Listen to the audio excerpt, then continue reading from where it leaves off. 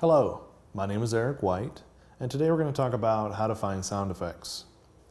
Now, all you need is a, um, a search engine of some sort. My favorite's Google. You can use Windows Live Search or Yahoo Search, and whatever you prefer. Uh, I did the heavy lifting this time. I went and found a site that gives uh, free sound effects. Now, this is a, a massive sound effects archive, and they're all free. Uh, the website is www.grsites.com forward slash sounds.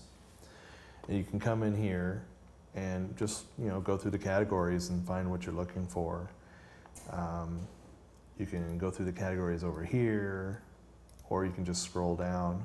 I, I think I like scrolling down here because you can just see get a, get a feel for all the sound effects they have here entire pages. Uh, let's let's look at one. Industry sounds. So they've got gas station air pump sounds, garbage truck sounds. Um, so yeah, just search through the archive and find what you need. And it's free, so uh, download all you want, and that's how you find sound effects online.